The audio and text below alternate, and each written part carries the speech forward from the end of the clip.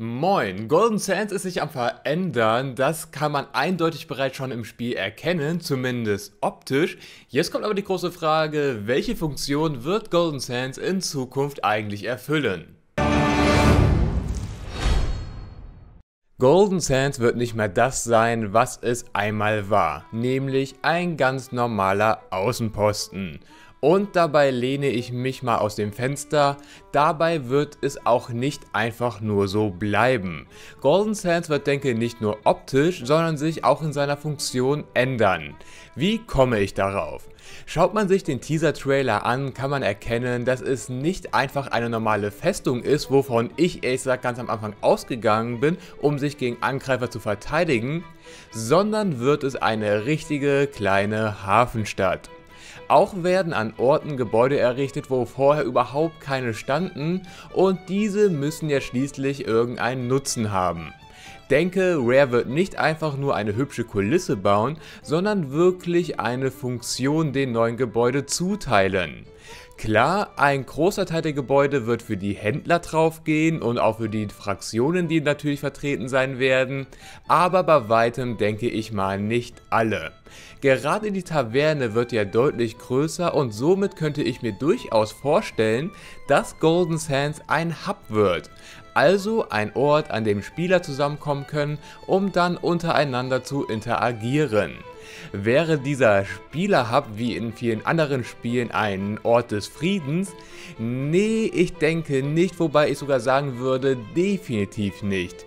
Denn am Ende sind wir immer noch Piraten und andere Crews sind meistens unsere Feinde. Also ein Safe Space wird es denke mal nicht.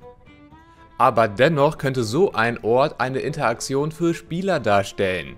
Denn was könnte man an solch einem Ort einfügen, damit Spieler etwas gemeinsam und gleichzeitig und sogar gleichzeitig auch noch gegeneinander tun können, gegebenenfalls mit der eigenen Crew oder sogar mit anderen Crews. Richtig, Gesellschaftsspiele wie Poker, Würfeln, Messer werfen und so weiter. Das kann man dann einmal, wie bereits gesagt, gegen andere Crews machen, gegen die eigene Crew oder gegen sich selber. Dann überrascht man sich halt selbst und unterhält sich selber. Also perfekt für alle Solospieler. Mau. Hä? Mau Mau. Alter, wir spielen Skat. Ich hab trotzdem gewonnen. Die Gesellschaftsspiele und allgemein diese Idee bzw. Ideen gibt es bereits schon seit der Alpha von Sea of Thieves und seitdem es die ersten Konzeptbilder gibt. Und Golden Sands wäre nun der perfekte Zeitpunkt, dass man dieses kleine Feature reinbringt. Ich meine, an einzelnen Orten können wir schon so etwas wie Kartenspiele und Würfelspiele und Schachspiele erkennen. Jetzt ist es nur noch an der Zeit, das ins Spiel reinzubringen und ich denke mal, Gameplay-Mechanik technisch sollte das kein großer Akt werden. Aber das wäre noch lange nicht alles. Ein Feature nämlich, welches ebenfalls bereits in der Vergangenheit angesprochen wurde, war eine private Piratenhöhle. Diese Höhle in der eigentlichen Form wird es denke nicht mehr geben. Denn schließlich haben wir als Höhle bereits das Reaper und das Legendenversteck.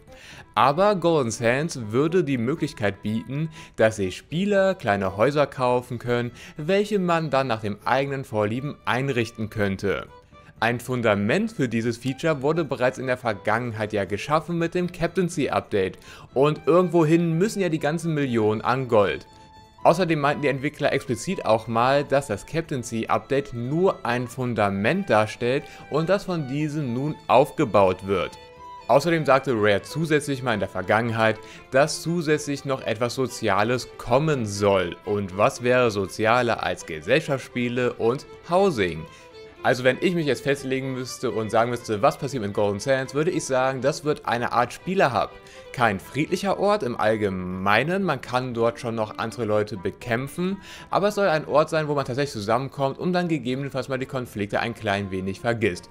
Ob das in Sea of Thieves heute noch möglich ist, sei mal dahingestellt, aber die Idee könnten die Entwickler durchaus nach wie vor verfolgen. Aber bis es mit Golden Sand soweit ist, werden noch einige Wochen ins Land vergehen. Die Entwickler meinten zwar, dass es Ende des Jahres wohl soweit werden soll, Ich würde aber eher mal davon ausgehen, dass es Anfang nächstes Jahres werden wird und nicht noch dieses Jahr. Denn, ehrlich gesagt, müsste dann jetzt relativ Zeit mal irgendein Event kommen oder noch ein neues großes Update. Und das haben wir ja eben erst erhalten mit der neuen Season und dem PvP. Nichtsdestotrotz freue ich mich auf den fertigen Umbau von Golden Sands und ansonsten war es auch soweit von meiner Seite. Ich bedanke mich noch recht herzlich fürs Zuschauen und dann sehe ich euch an Bord. Euer Chef.